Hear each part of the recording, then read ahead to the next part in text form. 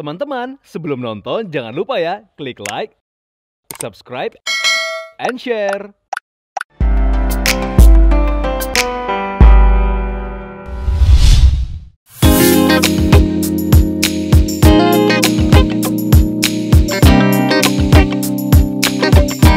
Viewers, kehidupan pasca menikah biasanya setiap pasangan baru merasakan naik turunnya masalah finansial. Thomas yang dulu dikenal sebagai bintang sinetron kini lebih sering menjadi orang di belakang layar sekaligus mengelola beberapa bisnisnya. Lantas pernahkah ia mengalami masa-masa sulit di sepanjang pernikahannya? apa perubahan ekonomi sih ada cuman alhamdulillah sih kita nggak nggak nggak yang sampai pusing gitu jadi memang eh, sebelum dari awal gue kenal sampai akhirnya sebelum nikah kan gue kerja kan di entertainment masih syuting kan masih syuting belakang layar segala macam masih ke direct akhirnya waktu pas awal-awal nikah sempat mutusin untuk berhenti untuk untuk berhenti syuting. Fokus ke bengkel dulu. Gue fokus fokus ke bengkel. Memang eh, waktu itu emang kalau dari penghasilan gue jauh lebih enak kalau dari kalau dari syuting gitu kan. Tapi itu kan di bengkel kan karena seperti perusahaan sendiri cuman gue di situ eh, sistemnya tetap benar karena di situ gue ada posisi dia gue digaji dengan sesuai dengan eh, posisi gue gitu. Ya untuk kita hidup sehari-hari sih ya sehari-hari sih berdua sih masih masih cukup ya. Masih masih bisa lah gitu eh, masih ada tabungan sedikit.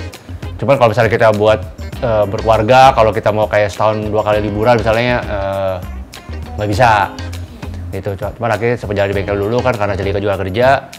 Eh, akhirnya gue pikir kayaknya ini kalau mau punya anak kayaknya mesti punya penghasilan eh, lebih nih gitu kan. Jadi tiga minggu sebelum merit tuh gue sempat syuting lagi tuh sempat syuting lagi dua minggu buat tambahan merit kan lumayan banget terus eh, setelah merit pas pas kita planning mau punya anak saya sama mikir cuma kalau punya anak dengan duit segini kayaknya kita pas-pasan banget deh. Kita nggak bakalan bisa nggak akan bisa kayak agak foya-foya lah mesti udah nggak pengepas aja terus. Eh dapat lagi tawaran syuting untuk yang lanjutin judul yang eh, nggak ke handle gitu. Dan akhirnya gue pikir udah nih gue jalanin dulu di situ. Ter- ternyata nggak habis-habis jalannya panjang waktu itu stripping sampai 6, 600 episode akhirnya mau nggak mau gue izin dulu gue nggak nggak kerja di bengkel karena nggak mungkin bisa, pegang kedua kan Eh, jadi ya gue harus fair juga ya. akhirnya gue dari bengkel gue berhenti dulu akhirnya ngejalanin syuting itu Meski dikenal dari dunia entertainment, namun Thomas Nawilis memutuskan mundur dari dunia yang membesarkan namanya itu. Pria kelahiran 26 November ini memilih pekerjaan dengan waktu yang lebih fleksibel agar bisa lebih dekat dengan anak dan istrinya. 2019 entah kenapa pertengahan 2019 kali ya tiba-tiba gue ngerasa kayaknya gue mesti berhenti syuting nih gitu. Karena kan udah punya anak ya. Dan gue ngerasa kayak gue nggak mau kehilangan momen tuh ketinggal, lewatin momen-momen anak gue tumbuh gitu. Jadi kayak tiap hari tuh gue pengen, pengen ketemu dia. Sedangkan kalau syuting kan kita berangkat pagi karena dia belum bangun. Akhirnya gue main akhirnya gue ngajakin temen gue lagi yang punya toko ini. Jadi itu dulu tuh gue langganan toko ini 2011 terus gue ajakin teman gue main teman gue akhirnya main lagi akhirnya lihat perkembangannya lagi naik waktu itu lagi high banget. Temen gue nawarin Tom gue mau buka lagi lo mau join nggak? Bilang boleh deh gue join. Akhirnya join. Nah akhirnya ini jadi sumber penghasilan gue lagi. Dari hobi jadi sumber penghasilan lumayan nambah nambahin belum lagi dapat kemarin yang honor yang belum dibayar itu tuh yang lama nggak jadi ada tambahan lagi honor lah lumayan. Ya apa aja? Yang penting mah duitnya banyak. Iya yang penting duitnya banyak ya Tahu jawaban yang penting kerjanya yang penting kerjanya halal ya Iya. Soalnya dulu juga walaupun dia syuting, aku kerja, aku tetap ngintilin dia sih. iya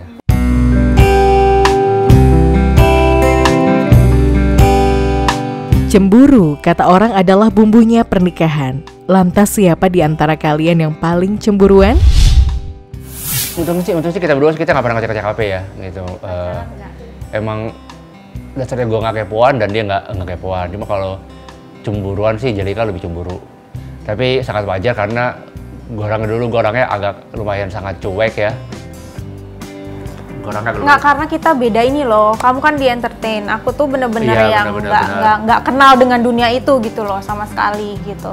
ya kadang gue temenan ketemuan kalau lokasinya pasti kan kalau pemain cewek pasti rata-rata kan mungkin eh, cakep-cakep jadi jadi awal tuh agak-agak kayak gue memahami situasi itu sih beradaptasi gitu makanya gue selalu open jadi kayak dia gue syuting siapa pun gue aja gue gue kenalin jadi akhirnya lama-lama ter- terbiasa dengan hal itu gitu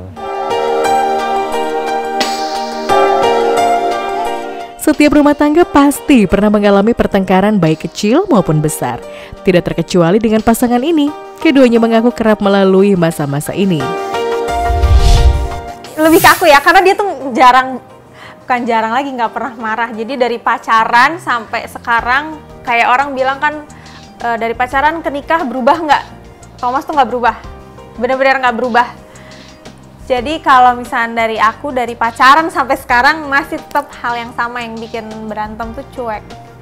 Cuek dan dia kalau udah sama hobinya itu bener-bener bisa kayak ya asik sendiri aja gitu. Cuman e, balik lagi setelah dipelajari gitu ya, setelah rumah tangga melihat banyak eh, laki-laki e, gitu kan.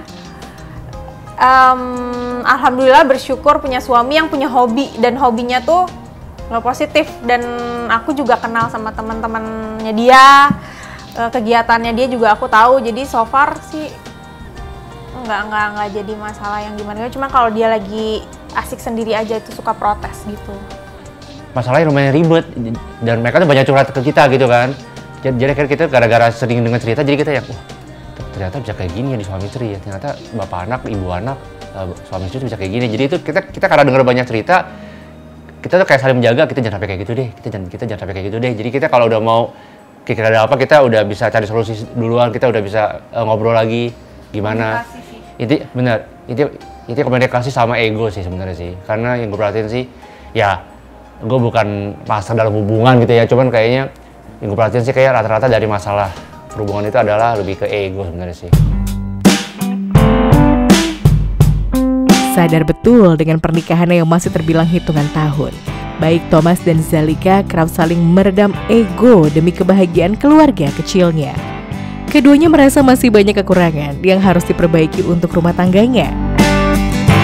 Bersyukur punya Thomas, kita tidak sempurna, cuman iya. kita merasa kita lebih baik daripada yang lainnya lah gitu.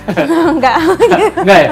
Jadi enggak ya? Pokoknya kita tidak sempurna, cuman cuman maksudnya mau cari yang seperti apa gitu iya. loh uh, karena setiap orang punya kekurangan kan jadi aku juga uh, berkaca ya jadi aku lebih bersyukur aja sih uh, sebenarnya klise cuman memang ya itu yang bener yang harus aku jalanin gitu sekarang aku udah punya anak udah punya suami insya Allah mau ada anak kedua juga jadi nggak uh, usah cari-cari drama lah gitu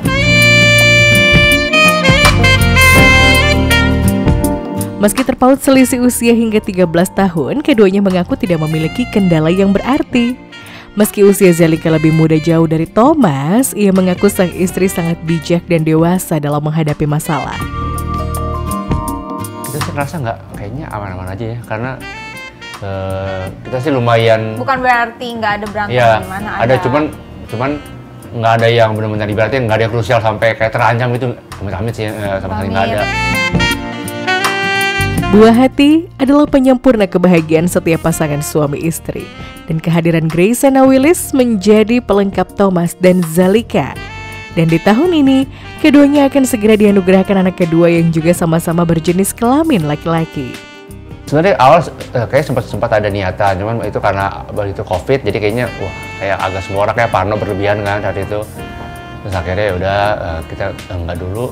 Sebenarnya gue sih lebih nunggu kesiapan istri aja karena ada banyak pertimbangan kan uh, ya, ya pasti kan istri kan pengen kenyamanan pengen apa security lah segala macam kan dan akhirnya baru sekarang uh, istri siap dan gua gua kemarin akhir tahun kemarin. Iya dan terus ya, Grayson juga dari umur iya dia udah minta-minta mulu. Ya, dari umur tiga udah minta adik dia yang excited sih. Iya dan uh, jadi udah masuk kepala tiga gue sudah mau masukin udah mau kepala empat tengah kan tuh ya udah udah menuju ke 50 mesti enggak sih belum sih. Maksudnya kayak dia juga mikirin nanti gue makin tua nih gitu kan gitu. iya lepas KB emang udah dikasih sama yang di atas. Dan emang pengen aturnya pengen ini pengen itu lahirnya tuh dekatan semua. Kan hmm. gue sama uh, Jalika uh, November. November. Uh, Grayson Oktober. Oktober tadi pengen itu di situ juga. Gitu. ya deket-deket lah pokoknya ya, kita. deket, nah. jadi emang deket. dekatan semua. Jadi bareng-bareng biar ulang tahun sekali dirayain gitu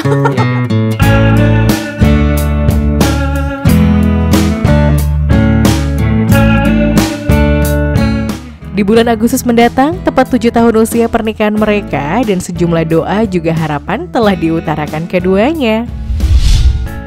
Pengennya sih kita tetap bahagia terus, tetap eh, makin care satu sama lain, terus ya bisa terus enjoy tanpa ada tanpa berubah jadi kaku atau jadi jenuh gitu. Pengennya ya udah kita selalu bisa bisa menemukan cara untuk bikin hubungan ini jauh lebih seru, jauh lebih menarik, jauh lebih fun, jauh lebih bahagia harus lebih banyak bersyukur sebenarnya sih gitu kayak kayak jangan kebanyakan iri atau jangan jangan kebanyakan bucin kayak Jangan iri sana sama gitu orang ya. lain sih itu Iya. nomor satu. Nggak boleh lihat orang lain ya. Kalau eh, apa berumah tangga, ya pasti rumput tetangga akan lebih hijau gitu kelihatannya ya. apalagi kan sekarang kalau semua rata-rata orang yang branding di sosial media kan bagus-bagusnya doang di branding kan, ya kan? kalau jelek kan nggak pernah di branding ya Iya. Iya. Sedangkan orang pada umumnya tuh kenal pasti dari depannya mulu. Oh, sini kayak enak ya, sini kayak enak ya. Gitu. Ya intinya, ya seperti di TV-TV lah. Iya. Iya kan? Itu punya ya kita pengennya pokoknya mah Adem ayam aja. ada lah, ayam simpel-simpel aja, pas-pasnya kayak bilang pas lah. Iya kan, pas-pas, Nggak pas-pas usah terus aja. sensasi. Ya.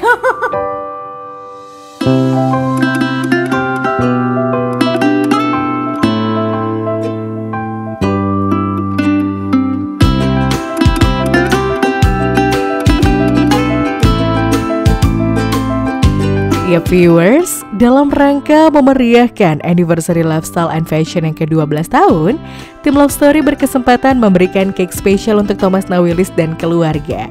Dan berikut kemeriahannya.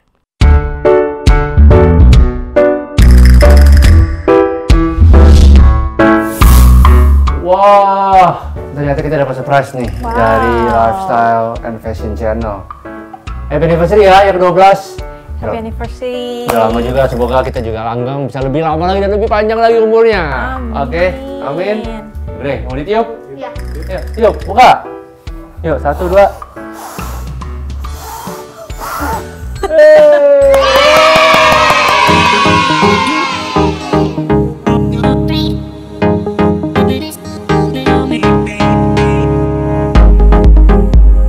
Justru yang paling berkesan kemarin waktu di ulang tahun ke-30 karena kan kepala tiga ya kayak kayak kan kesannya tuh udah udah menuju tua gitu kan. Jadi gue harus memberikan sesuatu yang spesial gitu Eh, jadi waktu itu gue bikinin lagu buat buat dia gue bikinin lagu eh, judulnya Endless Anniversary Eh, buat dia. Terus akhirnya karena dia suka sama lagunya akhirnya dia remake lagu jadi dia nyanyi lagi lagunya gitu. Jadi akhirnya di remake dibikin versinya dia. Jadi menurut gue sih kayaknya itu sih yang paling lumayan spesial bisa didengerin di YouTube atau di Spotify ya saya jualan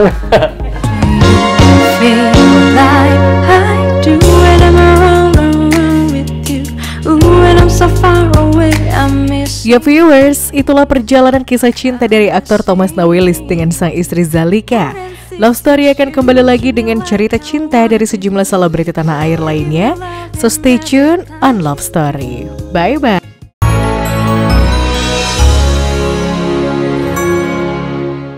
Teman-teman, sebelum nonton jangan lupa ya klik like, subscribe, and share.